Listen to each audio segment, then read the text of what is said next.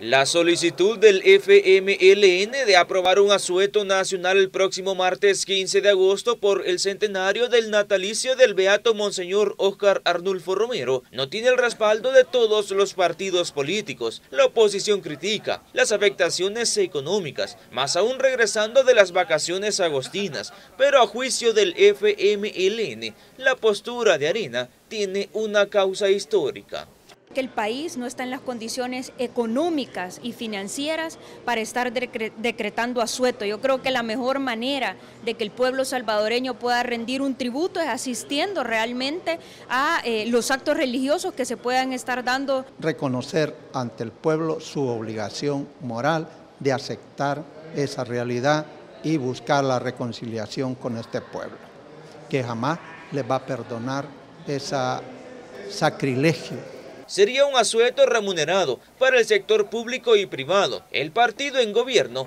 justifica esta solicitud porque es respaldada por la Iglesia Católica. En el centenario del natalicio del Beato se tienen planificadas varias actividades. Hay una peregrinación que se va a hacer el día 13 de, agosto desde Chapeltique hasta Ciudad Barrios y por supuesto las actividades que harán en Catedral Metropolitana.